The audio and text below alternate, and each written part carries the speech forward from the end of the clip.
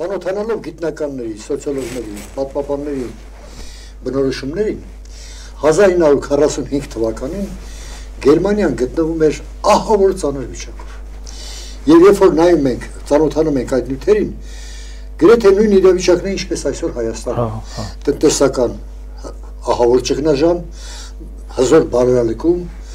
ընճախտ, ավեվացություններ եւ այլն։ Մի երկու թիվ հիշենք Գերմանիայից։ Ուրեմն 162 քաղաք ավերված էր։ 162 քաղաք։ 45 թվականի մայիս ամսին արդեն Գերմանիայում բնակվում են 2.5 միլիոն այրիներ։ Նույնքան 2.5 միլիոն հաշմանդամներ կային։ Շուրջ 10 միլիոն զոհ։ Ընդհանրապես տնտեսության մասին խոսքը։ Ահա վիճակ եւ մարդկանց այդ ինքնիշխանությունը։ Այդ չեմ խոսում այն մասին, որ այդ զոհերի այդ ինքնիշխանության ճկության մեջ ըստ սոցիոլոգներն ասում են շարքային գերմանացին որպեսի մեկ զույգ կոշիկ գներ, պետք է աշխատեր 12 տարի։ Լա պատկերացրեք։ Սովորական կոստյում եթե գներ, պետք է աշխատեր մոտ 50 տարի։ Ահա այսպեսի ծանր արհուսալի վիճակ Գերմանիայում։ Եվ ահա Հեչ հաշված մեծ տերությունների դրած պարտքն ու կապիտուլյացիոն կար ժամանակամիջոցում, շատ կար ժամանակամիջոցում Գերմանիան ոչ միայն մեծ կշտկեց, այլև դարձավ աշխարհի ամենաառաջադեմ երկրներից մեկը։ Լոկոմոտիվն է։ Եվ այդ վերափոխման հայրը, այսպես են ասում, դարձավ էկոնոմիկայի նախարար այս ժամանակվա Լյուդվիգ Էրհարդը։ Հա։ Ում հետագայում, երբ որ հարցրեցին թե բնորոշեցին դա գերմանական հրաշք։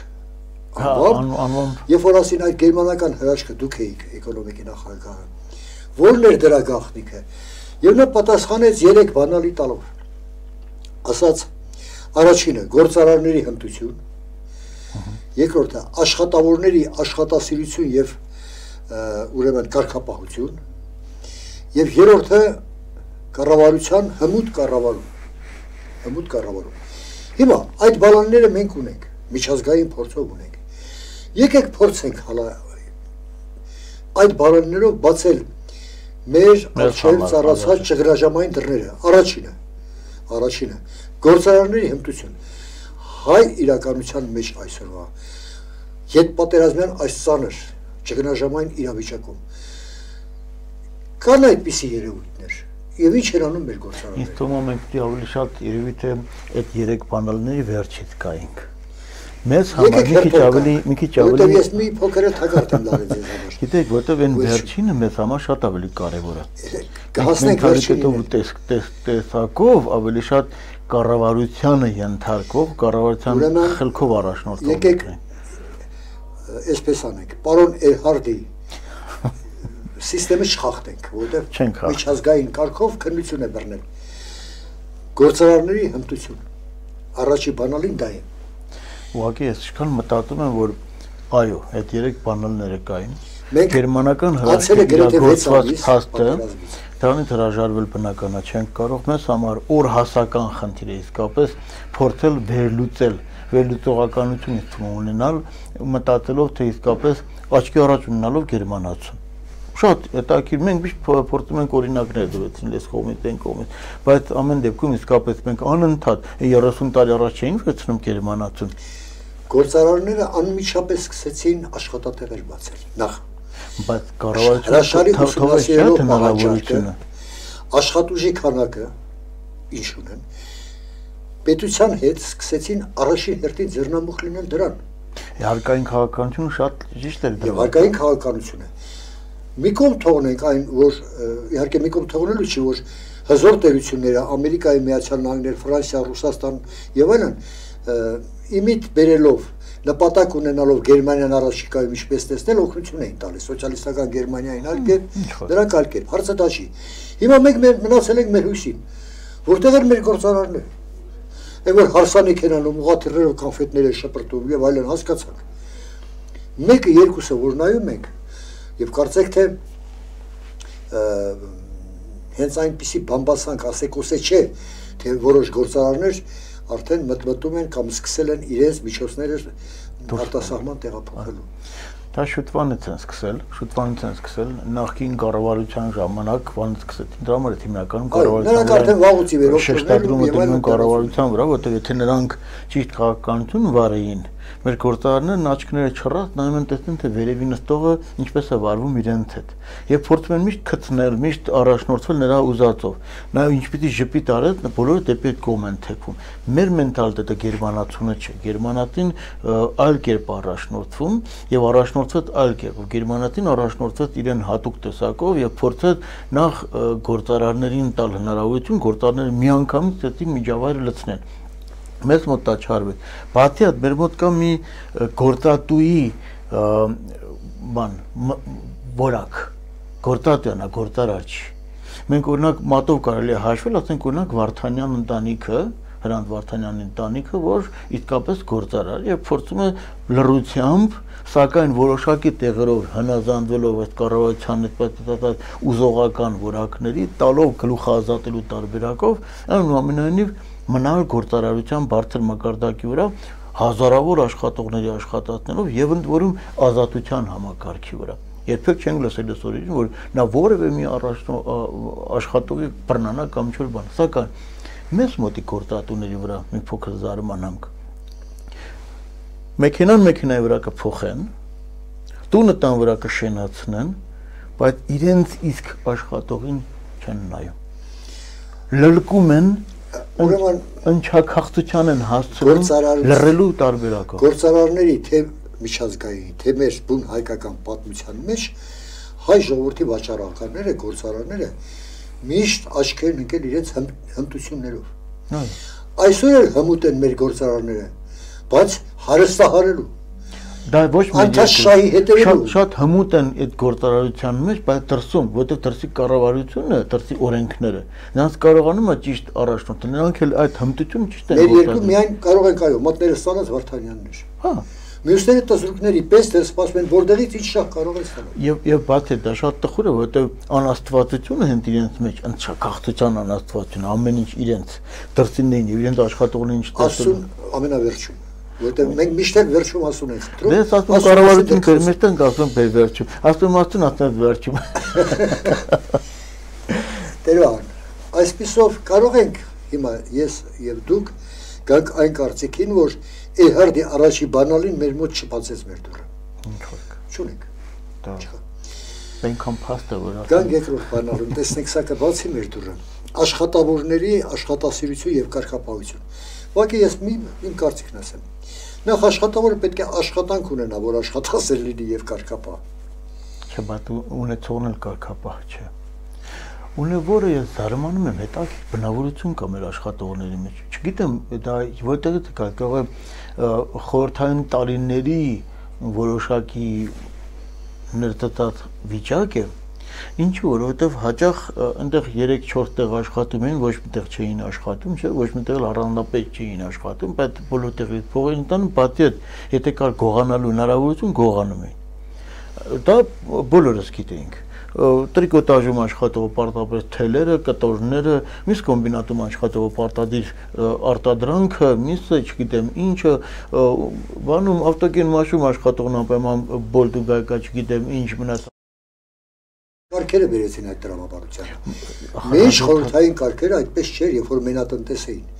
Հա, որտեղ նա վերահսկում էր։ Որտեղ կոլխոզն ու սովխոզը, երբ որ մարդու վերջի կթան կովը տարան թե կոլխոզինն է, ու բոլորն արազա վերջում քեզ կատ կտանք։ Ես իմ ինչ որակի կատ։ Դա բերեց մարդկանց այն բնավորությունը, որ նախ ծուլացան։ Այո Մարդիկ իրենց տանամերձից ավելի շատ բերք էին ստանում քառակուսի մետրի հաշվարկով, քան համայնական դաշտերից, դա բնական է։ Խորհրդային երկիրը, այնուհետև երկրաշարժից հետո այդ օգնությունները, որ լցվեցին, առավել քան նպաստեցին մարդկանց ծուլացման համար։ Այո, զրկեցին աշխատել։ Երբեմն օրինակ ես զարմանում եմ։ Բանվորը, արեստավորը, այո, կարող է ասել, որ ես գործազուրկ եմ, աշխատատեղ չկա բայց երբ որ գյուղացին է ասում աշխատանք չկա, ես զարմանում եմ, եղբայր ոնց չկա Այսինքն գյուղաց հոգեբանության մեջ է շատ բան փոխվեց։ Դե գիտեք, մեզ համար դեմոգրաֆիկ վիճակը փոխվեց եւ քաղաքները սկսեցին ուռճացվել։ Դե մեզ մոտ իհարկե շատ սխալ քաղաքականություն վարվեց երկրի կառավարման մասով, դա խորհրդային տարիներից էր գալիս նաև, որովհետև մեզ մոտ ցեցին զարգացնում քաղաքները։ Այնինչ մեզ ավելի հատուկ էր գյուղատնտեսական եւ անասնապահական երկիրը ստանալ, քան անընդհատ արդյունաբերական որակը։ Բայց ժամանակ չմոռանանք, որ այսօր կան այնուամենայնիվ կան գյուղացիներ, որոնք կպածեն իրենց հողից։ Սահմանամերձ շրջաններում անգամ այսօր վարում ցանում են, բայց որքանով այսինքն բոլորովին վերջերս ապրիլի 2-ին մարդու իրավունքների պաշտպանը հայտարարեց որ հազանգեր ունի որ մարդ իր հողամասում նույնիսկ տնամերձում աշխատելուց կարակի տակ է։ Այո պետությունը ոչինչ չի անում, ձերքերը լավացել են, ոչ հազանգեր, ոչ միջոցներ ձեռնարկել եւ այլն քաղաքներում գործազրկություն, մյուս տեղերում ուրեմն դե դիզվարելիք պետք է առնի մարդը, որ տրակտորով վարի իր հողը, պարարտանույթ պետք է առնի եւ այլն։ Հիմա պաշտոնավորները կասեն, պարարտանույթ տալիս են, կեսա այդուամենայնիվ այն կենտրոնախույս ուժերը, որոնք կան, որ մարդուն զրկում են իր աշխատանքից, կենտրոնազիքի չեն վերածվում։ Մարդիկ անհուսության մեջ են։ Համաձայն եմ։ Այսինքն աշխատավեսություն եւ աշխատանքային կարգապահության բանալինը չի գործում մեր մոտ։ Համաձայն եք։ Համաձայն եմ, որովհետեւ ես կարող եմ այլ օրինակներ բերել այնուամենայնիվ, որոնք ավելի շատ բնավորության խնդիր են եւ ոչ թե կառավարման։ Ինչու, որովհետեւ երբ որ մարդուն աշխատանք է տալիս, նա առաջին հերթին փորձում է գողանալու եւ գլուխ պահելու մասին մտածել այն խորթային տանի անեկդոտի նման է, չէ՞, ասում են, եւ որտեղ ես աշխատում երջախումում Բաքու քյարնի ինչ է։ Ասում մեկ-մեկ չեմ երգում ամեն դեպքում ամեն ինչ պլոկել տանելու հանգամանքը կար։ Եվ այդ բնավորությունը տեղափոխվել է մեր օրեր։ Ես միշտ հիշում եմ ու հաճախ օրինակ եմ բերում կարծեմ թե տեղել ենք մենք խոսել դրա մասին։ Երբ որ ճանապարհը սարքեին միջպետական այդ դեպի նոյեմբերյան գնացող Վանաձորի հատվածում երբ որ սկսում են սարքել երրորդ մաս կոչված հատվածի վրա հիմա էլ որ արդեն կանձրև է գալիս զավեշտ է ջուրը գետի փոխանակետը գնալից գնում գնում տների մեջ էլ այդ գնում լցվում այսինքն այդ ժամանակ ես հաճախ ուշադրություն էի դարձնում այդ ճանապարհով երբ որ գնում գալիս թե ոնց է աշխատում ասենք թե մեր բանվորը ես չեմ ասում ծանր աշխատանք չի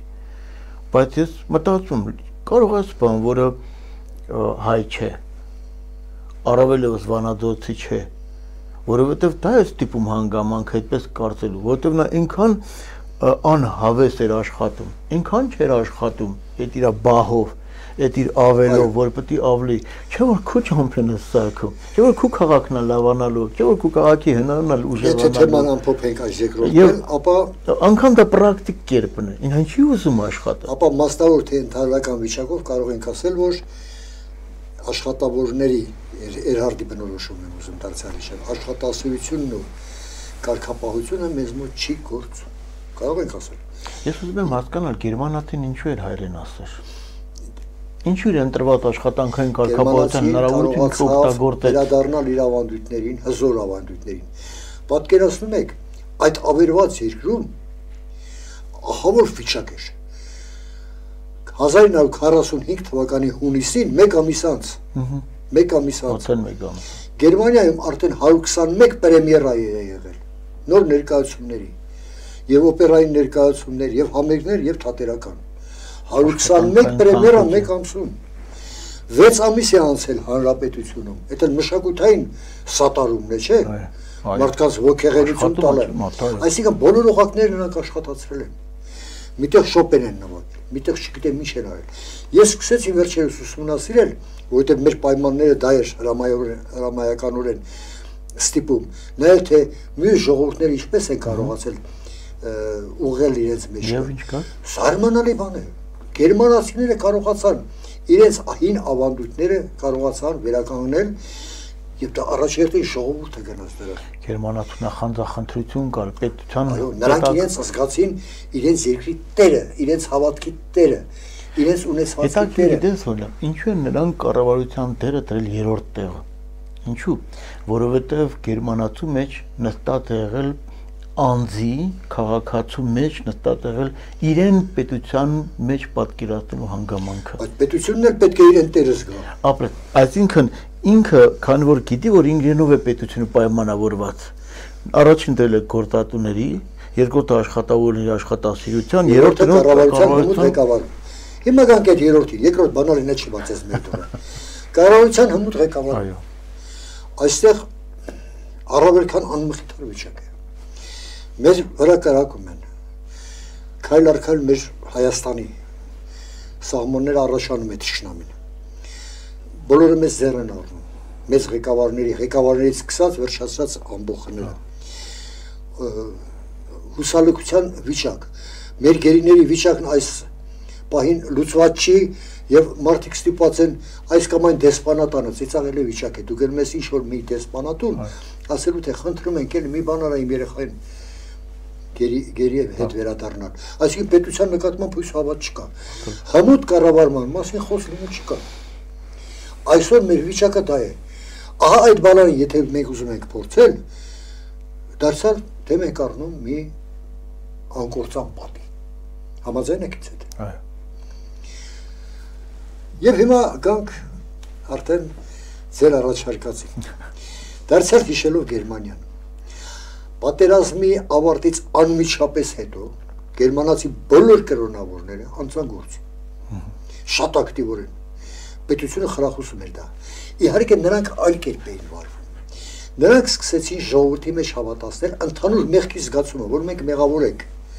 Մենք 10 միլիոն զոհ ենք տվել, բայց աշխարհը 50 միլիոն է զոհ տվել։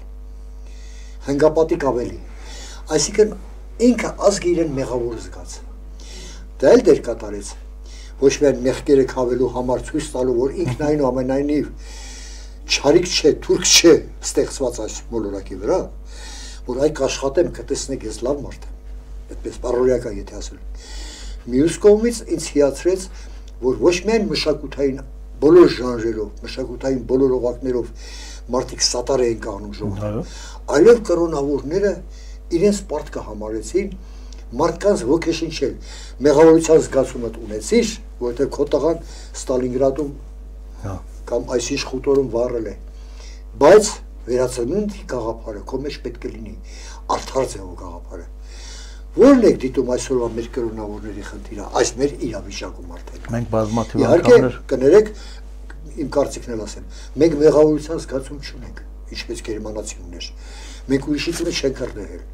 հա։ Կախաղաններ չենք հանել։ Չենք գլխատել ինչպես մեր ճշնամիներն ու մեր նկատմամբ Մենք մեղավորության այդ զգացումը չունենք, բայց ունենք ամենագերխնդիրը՝ վերածնվելու, վերակառուցվելու հոգեբանորեն։ Այ ես կուզենայի իմանալ, հոգեորականները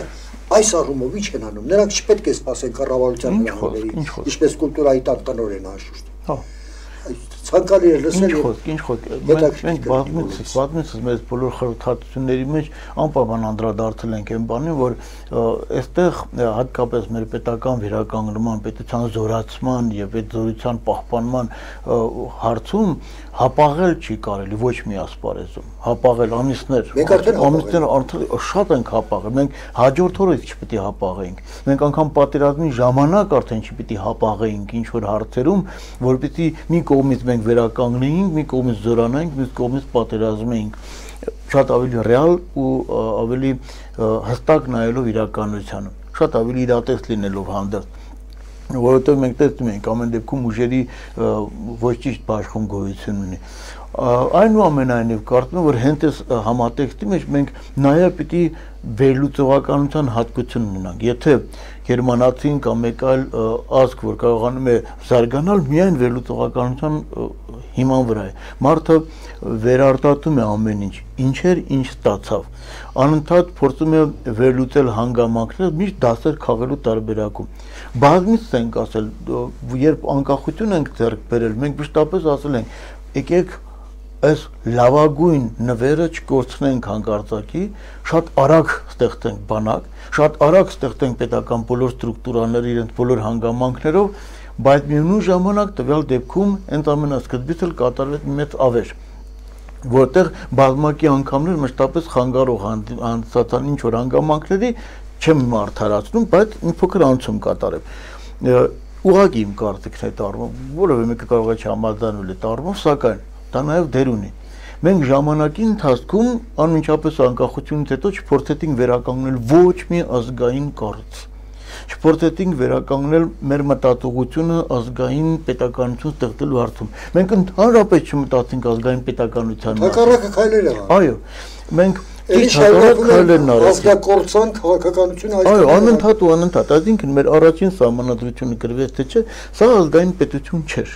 Այնտեղ ներառված չէր ազգային բոլոր ինստիտուտները, իրենց բոլոր հնարավորություններով։ Հələ հիշենք այն ժամանակվա մտավորականությանը, այն ժամանակվա ոդկի կանգնելու զորությանը ժողովուրդն կարող ուժերի առաջ գնալը Գիտեք, անմիջապես փորձեց ծեփ խրվել եւ որոշակի տերմինաբանության միջոցով անմիջապես հակառակություններ սկսվեց ժողովրդի մեջ։ Ինչ տեղի ունեցավ։ Խորապես համոզված եմ, որ դա իրապես ճիշտ է։ Մենք հենց դրանում ենք անգամ համոզված, որ դեպի ուղղել։ Այսինքն, օրինակ, եկեղեցի տերմինաբանությունը անմիջապես օտարվեց Եկեղեցին դա ազգի հետ կապ չունեցող հանգամանք է,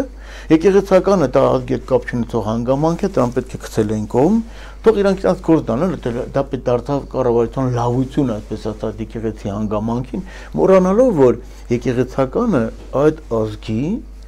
գործող, այսպես ասած, հանգամանքներից մեկն է ինչպես մնացած բոլոր մտավորականները այս երկրի քաղաքացիներ ընդ որում ընդ որում նրան այնքան հմուտ պետք է բերել պետաշինարարականության մեջ որ մյուս մտավորականների հետ միասին նա կարողանա ուսուսի տված տանել ինչ որ բեռ լավագույն բեռ կրելու հատկություն որպեսզի ես չեմ կարողանում այդ բեռին դիմանալ պիտի դուրս գամ ասպարեզից այս հասկացողությամբ անգամ եթե մնում եմ այդ բեռի տակ ուրեմն լավագույնս պիտի կրեմ իմ բաժին բեռը որպեսզի պետությունս արագ վերականգնվի եւ արագ զորանա իմ բոլոր հանգամանքների, իմ բոլոր պատկերացումների սահմանների մեջ։ Հիմա մյուսը աղճատվեց ազգ պետություն հանգամանքը տերմինաբանությունների մեջ անընդհատ սկսեցին արանքներ մտնել այսինքն ազգը սկսեց բաժանվել պետություն ունենալու պետություն կազմավորելու հանգամանքից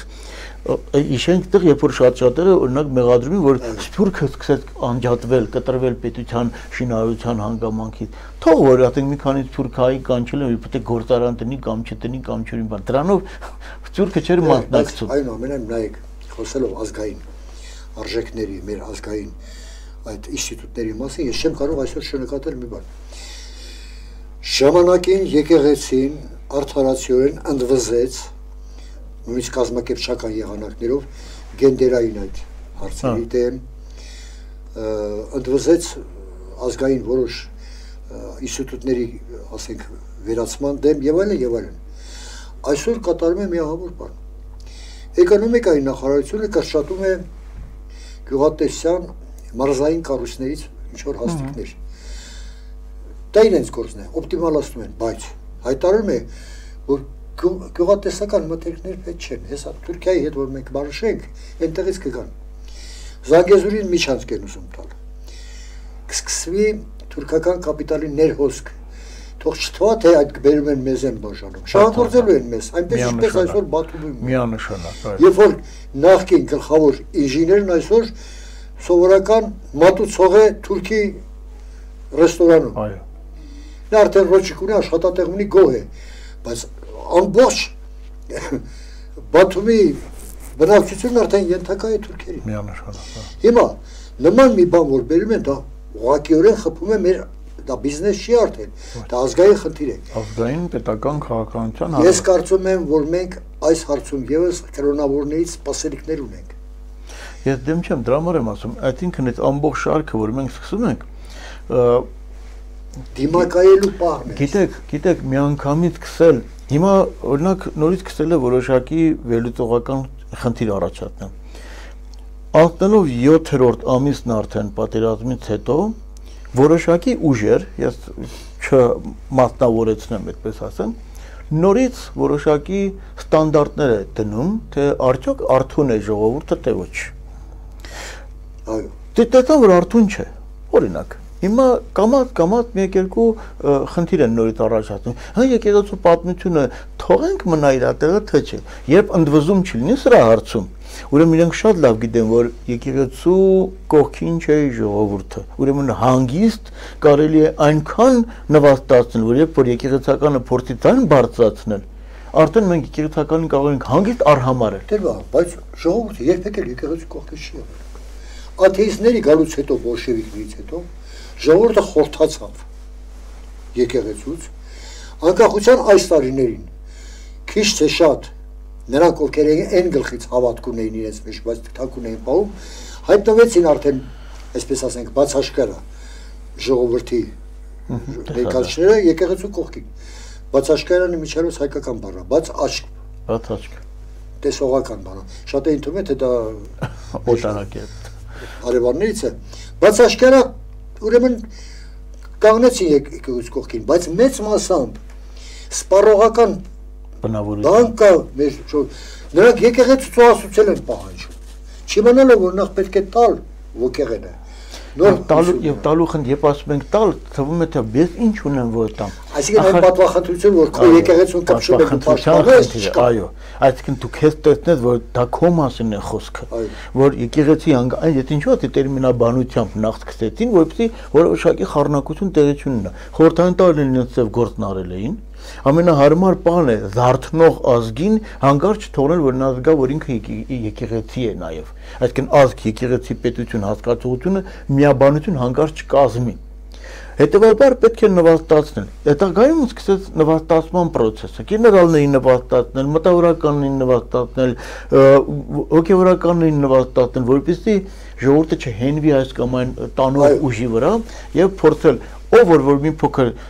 կարծր ու պինդ խոսքեր ասում եւ դեռ հեղինակազրկված չէր, հաջորդ օրն աշխատում էին այդ ուղությամբ։ Եվ սա այս տարիների ամենացավոք ցավոք տեղերից մեկն է ժողովրդի պաշտպանության։ Սակայն ոչ միայն դա փոխադարձ պետք է լինի, փոխադարձ։ Այո, պետք է հոգեվորականը լիարժեքորեն կարողանա իր գաղափարներով, իր սնուցող տեսակով դու եկեղեցի ասելով, եկեք չազնավորենք, ոչ կաթողիկոսով, միանշանակ, միանշանակ, ոչ եկեղեցին ժողովուրդը։ Եկեղեցին ժողովուրդը ինչպեսին օրինակ ես որ ես այսօր մկրտությունն են ավարտում մկրտության վերջին խոսքն ասում, ասում սիրես